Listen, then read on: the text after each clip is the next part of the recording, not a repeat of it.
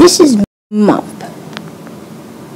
Mump is, well, mm, not the most acrobatic stickman of all of them, as you can see.